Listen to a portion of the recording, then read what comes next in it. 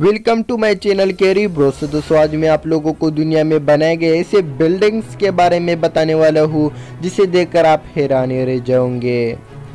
दी Montreal buildings दरअसल ये एक म्यूज़ियम है, और इस म्यूज़ियम के चारों तरफ़ एक गोल शेप का स्टील का बना हुआ है। ये अमेरिका में बना हुआ है और ये काफ़ी खूबसूरत भी लगता है। ये अंदर से एक बहुत बड़ा म्यूज़ियम है।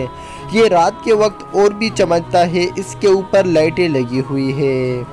दोस्तों, इस बिल्डिंग को देखने के लिए बहुत बहुत से लोग आते हैं। रोज़ के दिन कहीं कहीं कंट्री से लोग इस बिल्डिंग को देखने के लिए आते हैं।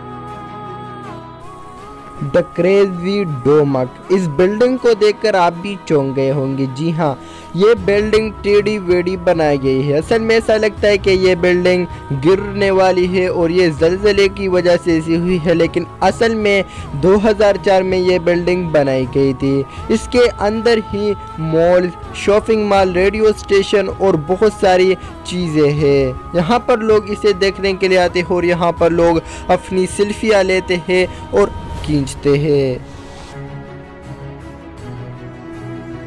वंडर वर्क्स देखिए इस कमाल की बिल्डिंग को, इस बिल्डिंग को आप देख रहे हैं, ऐसा लगता है कि ये उल्टा ही, लगता नहीं बल्कि ये उल्टा ही ऐसा लग रहा है। लेकिन असल में अगर देखा जाए तो ये बिल्डिंग ही कुछ इस तरह सा बनाई है। टूटी फूटी बिल्डिंग लग रही है, लेकिन असल में ये बनाई गई ऐसी है। इसमें थ्री ऐसी हुई है कि लोगों को लगता है कि ये बिल्डिंग गिर गई है और सालों पुरानी बिल्डिंग है। असल में दोस्तों, ये बिल्डिंग काफ़ी खूबसूरत है। इस बिल्डिंग के अंदर बच्चों के लिए वो गेम्स वगैरह सब कुछ मौजूद है। लोटस टेंपल ये बिल्डिंग भारत में मौजूद थे।